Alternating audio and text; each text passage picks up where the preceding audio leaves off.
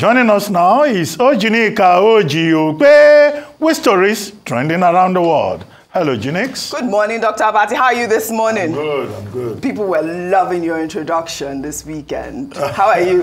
we had a, a, great weekend, didn't we? Yes, it was fantastic. Good to see you, Oji. Good and to see you too. Dr. Abati was definitely trending. Yes. So I actually asked the question, Anoko, what's their favorite sport? And people said the introduction of Dr. Abati. Of course, that's, a, that's the highlight of the show. It's Dr. Abati. Well done. Well, all right, let's begin what's trending by celebrating the Super Eagles of Nigeria for advancing to the quarterfinals of the Africa Cup of Nations with a comfortable 2-0 win over Cameroon. Social media was awash with reactions over the weekend as Nigerians across the world celebrated with the Eagles. Ademola Lookman scored the two goals, the first assisted by African Footballer of the Year, Victor Osimhen, to help secure the Super Eagles' place in the last eight. Oh, it's a beautiful opportunity there. Lookman, it's got it. They get the goal. To the left-hand side. The delivery comes in. Oh, it's a great, it's a great goal. They got a goal. That is fabulous, fabulous play. Oh, the, the follow-up. Well, after the game, the Super Eagles stars were seen celebrating the victory on the field and in a viral video as they sang their victory song.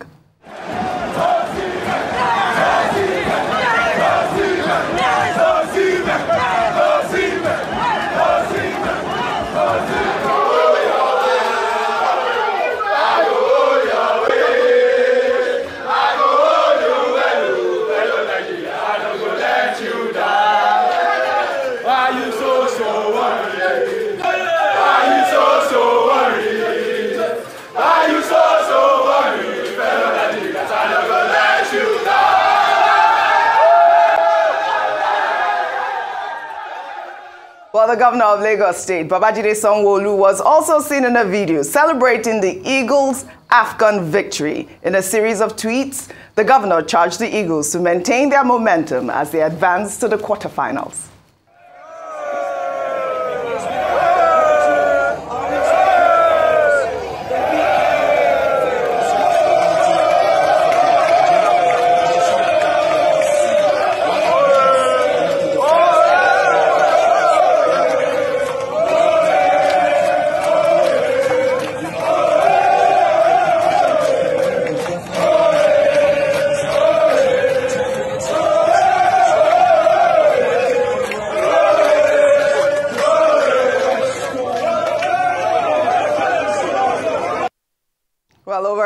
France, President Bola Ahmed Tinubu was also seen in the video celebrating the Super Eagles' victory over Cameroon.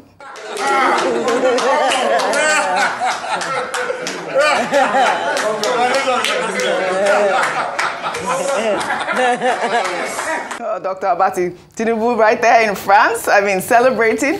Everyone was celebrating, including my daughter. I mean, it was so amazing to also see how excited it is for, you know, that, uh, what do you call it, camaraderie that sports brings to the nation. It's amazing to see. Congratulations to the Super Eagles. I will affirm that they did play well, even though some people were saying yeah, that. Well, failure is an offer. Absolutely. The success attracts everyone. Right. And apart from that, in Nigeria, football wields a lot of power over the people's imagination.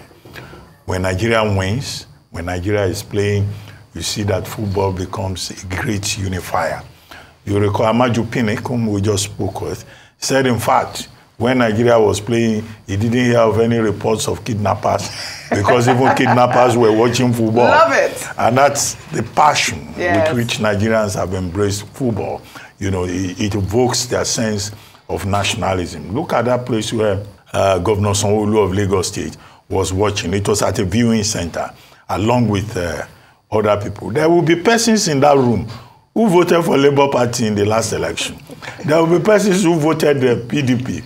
But at that moment, when football, which is a great unifier in Nigeria, had brought all of them together, nobody will remember partisan politics. Mm. In fact, nobody will talk about religion or ethnicity. The, uni the unifier there, the religion in that room as they were celebrating was football. And ditto for the president of uh, Nigeria, who in the course of his uh, private visit uh, to France was also seen watching uh, Nigeria versus Cameroon. And it was just as well that the Super Eagles uh, did not disappoint. They dominated the indomitable Lions. The Eagles proved to be uh, more ferocious, more, uh, you know, deadly uh, than uh, the Lions of, uh, of uh, Cameroon. But we now have Angola to face. Nigeria and Angola have faced each other 11 times. This will be the 11th time since uh, 1981. We've been able to beat them three times. They succeeded twice. Then, of course, in other encounters, it was a draw. But I've been hearing people, Etim, Etimesian, uh, to be specific, saying that we need to win the next encounter with Angola, if not for anything, for Sam Okwaraji, who died at the uh, Lagos Stadium here, uh, 10 minutes to the end of the game, during an encounter with uh, Angola. But what the Super Eagles should know is that Angola is not a pushover. As uh, Pinnick and others have said, there are no minnows in football. If uh, Mozambique can send Ghana away, if Mauritania can send, uh, you know, uh, Algeria out of the tournament, and DRC, Democratic Republic of Congo, can deal with the Egyptians, it means anything is possible. But to the extent that Nigerians are very joyous Yes. when the country does well and they forget all their woes and differences, nobody talks politics.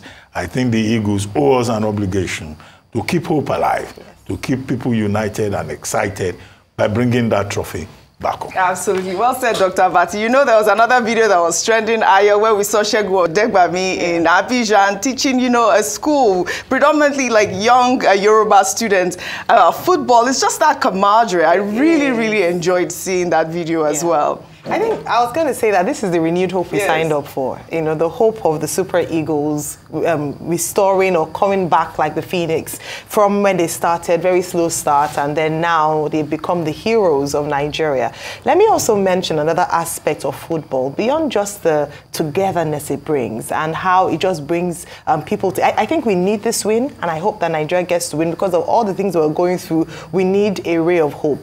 But Lagos State, and, and because you showed the video of the governor of Lagos State as one of the 20 viewing centers which they set up for AFCON 2023, and in these centers across the state, they were giving free food, free popcorns, free drinks, and they're in different parts of the state. But one of the things that we must tap into as well, even though we're not the host nation of AFCON, is the opportunity for business and commerce. You know, through these centers, we know that you know you're able to sell, especially in the tourism sector, you're able to maximize profit by this nation, you know, the AFCON 2023 going, up, going, going on. It's not just in Ivory Coast, so I mean, so Cote d'Ivoire that would benefit the, you know, the proceeds from this AFCON 2023. Lagos State has taken that step. I hope other states, will- states will also do the same because thankfully we haven't heard any violence taking place in these viewing centers. Sometimes, you know, football is a very passionate game and some people might be quite passionate and then there's banter that goes awry. But also very important is that can we behave ourselves on social media? Did you see the dragging of Ghana? Ghana, they were sitting on their own and then the banter. I was laughing my heart off just reading the different Yeah. things that people were saying about, oh, they were going into spaces, X spaces, and just trolling Ghana. Can we just be humble in our in our in our what's in our in our joy and our celebration? Let us bring the home the cup back home. Then we Absolutely. can troll the rest of Africa. But at the moment, let's just be kind. to Talking about viewing centers. Uh, okay, the Lagos State government, you say, has 32 viewing centers. Mm-hmm. There's also been corporate sector involvement. Nigerian breweries, through their Goldberg drink and Life beer, they also have viewing centers, you know, nature in Port Harcourt and here in Lagos. But the difference in their own is that I hear they organize competitions. And if you win, you get, uh, you get a, a good package of a gift. I, I thought uh, Aaron would come today to tell me where the Lagos Center is so that the next uh, one I will go there too and make prediction. Maybe I will win uh, a supply of Goldberg or live beer for the rest of the year. But is that your favorite drink now? No, no. well, all right, we are charging the Super Eagles of Nigeria not to agree. Bring back that cup home. Congratulations again. Well, let's take another story. Former Anambra State Governor and presidential candidate of the Labour Party, Peter Obi, has reacted to the state of the nation in the wake of the steep decline of the country's currency. In an interview with the Vanguard newspaper, Peter Obi noted that the average Nigerian should be able to judge the performance of President Tinubu since he assumed office on May 29, 2023 adding that Tinubu should be in the Guinness World Records for causing Nigerians the most hardship Tinubu had on the 21st of November 2023 bragged about his reforms while addressing groups of investors at the 10th German Nigerian Business Forum in Berlin, stating that he deserves recognition from the Guinness World Records for the economic reforms he has introduced since assuming office. Nigeria voted for me for reforms. And from day one of my inauguration, I started the reform. Day one. To me, if you didn't mention me in the Guinness Book of Records on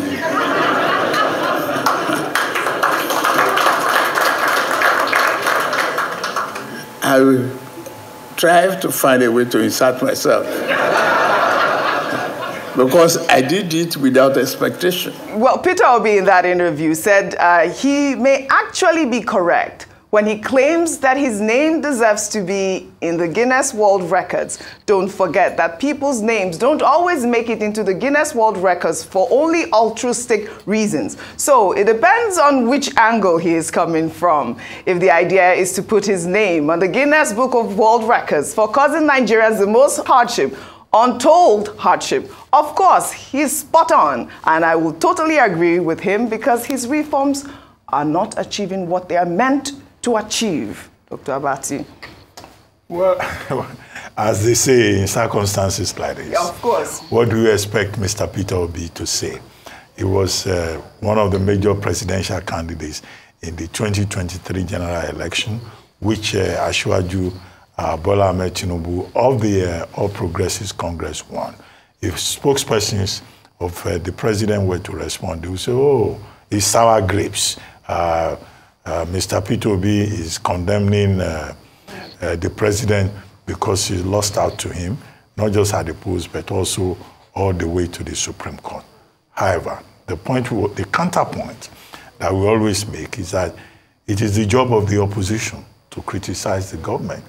And that what the opposition this time around has shown, whether it is Mr. Peter Obi or Waziri Atiku Abubakar, they are beginning to show a confid- real confidence to hold the sitting government at the center to task and to raise questions and to ask questions. And it's not just a matter of opinion, it's also a matter of perception. Uh, Mr. Peter Obi is saying, so far, we can assess the Tinubu administration. There are some people, I think we had a guest today also, who was saying, well, it's too early in the day. Yeah. Let us give them uh, a whole year. That was Layo Motola, right? Yeah. Let's, let's give them a whole year before we begin to assess. But the same government themselves have started assessing themselves. President Tinubu has directed that a committee of 140 persons be put together to assess the performance of the ministers. What, what I find curious there is why you will need 140 persons to assess the performance of uh, 46 ministers when it is so clear that some uh, people in that cabinet are passengers. Yes. In fact, some of them are so uh, uh unknown, uh, are so absent that Nigerians don't even know that they are, they are ministerial uh, appointments. The, there's another group that is perpetually putting their feet in their mouths. And each time they open their mouths like this, they will cause problems. Either they are quoting wrong statistics or they are saying things they know nothing about. Not to talk of uh, the other crowd that have been implicated in all kinds of things. So the assessment has begun. And those who are saying, let us wait for uh, till it is one year.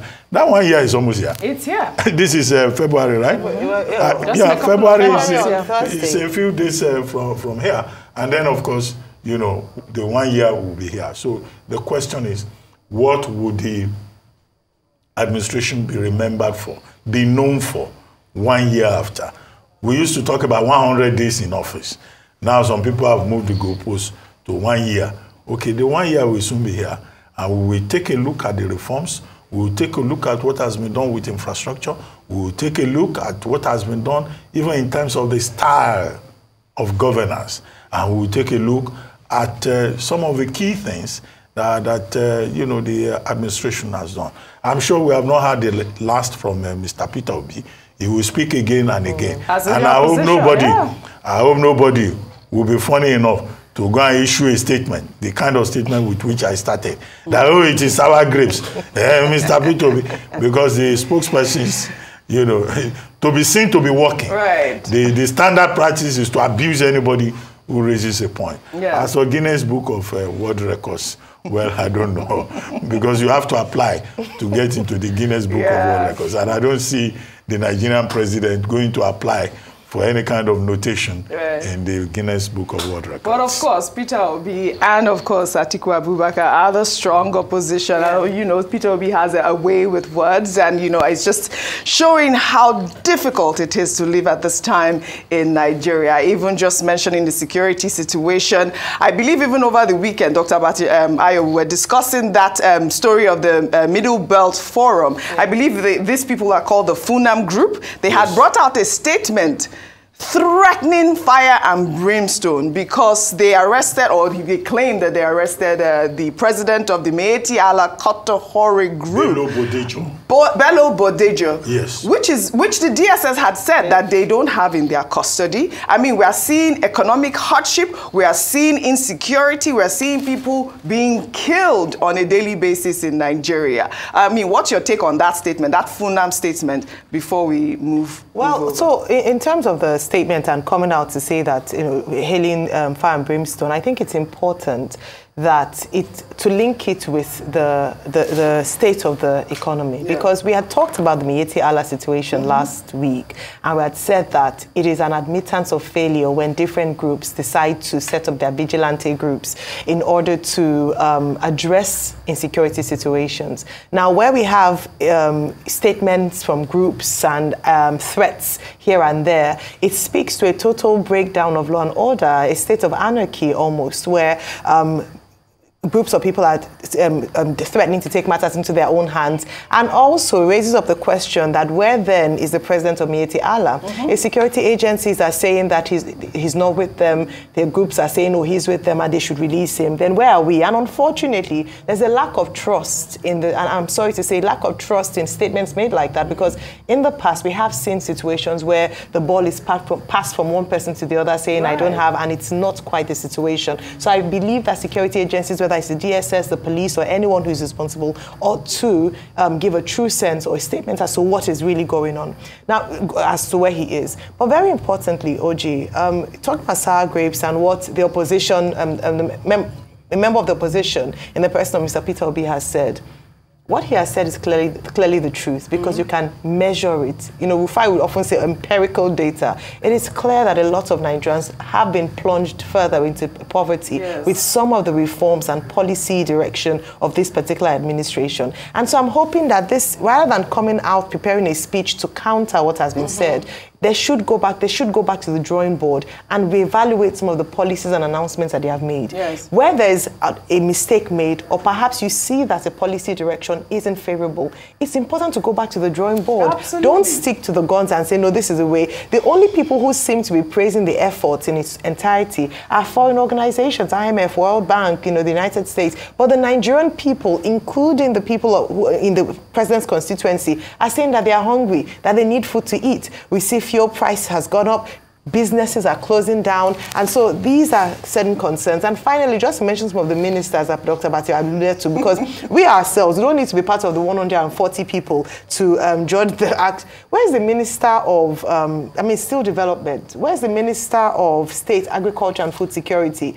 Where is the minister of tourism? There are certain ministers who have been very quiet since the administration began. So just a few questions there. Let me just quickly read number six of that uh, statement that they released. And this is from Funam. And the person who wrote this statement wrote it on July, or two people actually, January 24th. And this is a call to the DSS and all the security forces. The person's name is Uma Amir Shehu and Badu Salisu Amadu. They call, they're saying that if the Plateau people don't leave Plateau State, that there's going to be jihad. Number six, we call on non-Fulani people to vacate Plateau State, Kaduna and Benue States if they are not ready to live under the inevitable jihad which will eventually be all over Nigeria. Well, I mean, Right. this is where we have found ourselves. Yes. Whereby a group, Funam, by the way, means Fulani Nationalist Movement. And it's unfortunate that up to this moment, the two gentlemen Mm-hmm. have not come forward to say their names are being used in vain and it is not their deed or that they did not use, issue the statement. For anyone to come up and say we're declaring a jihad in every town, every village, Yes. every part of Nigeria, that in itself is, is, is an action against the Nigerian state. It's an act of uh, uh, provocation and insensitive and incitement. Absolutely. Because they are Right. also saying Fulanis in every part of Nigeria should join the jihad against other Nigerians. Unacceptable. I mean, Very you have important called out appropriately the Department of State Services Yeah.